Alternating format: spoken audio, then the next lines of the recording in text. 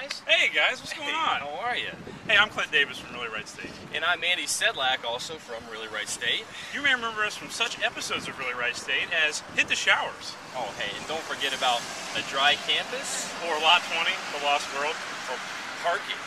Hell, they're all favorites. They're all great. Anyways, today's episode of Really Wright State is the final one in the canon. We're uh, we're done after today, so Can you believe it? it's been a great ride. I mean, we, we figured though that for the last episode we would take a look at the things that we love about Wright State. We've gotten so many complaints. People just think we're, we're moaning and whining and this, that, and the other. Uh, they say, why don't you talk about some things that you actually enjoy about the campus? You can't hate it all, can you? That's what I say. You've heard it. Of course not. Yeah. Yeah, we, we don't we don't hate it. We love the school. We just want it to reach its full potential. So today we'll talk about all the things that we love about this campus.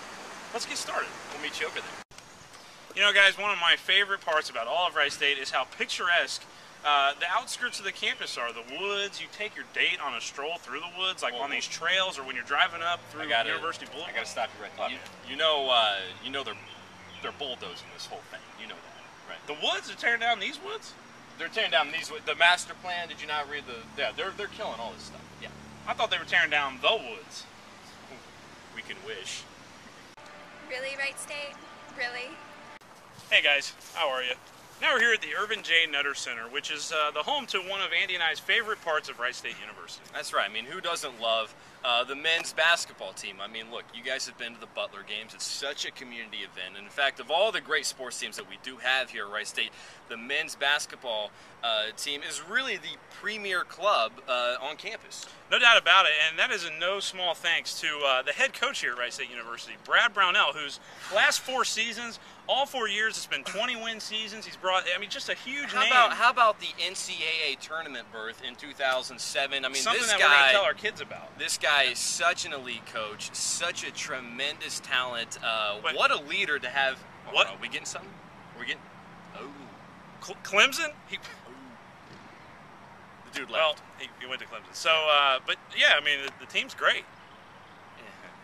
Really, Wright State? Really?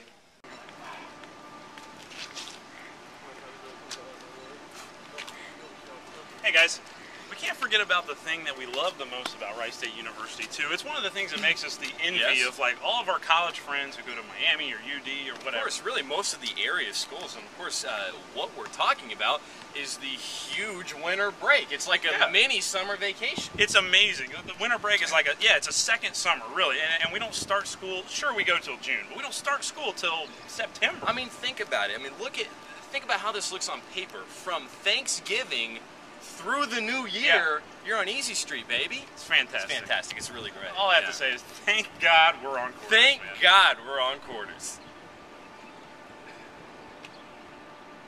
Really, Wright State?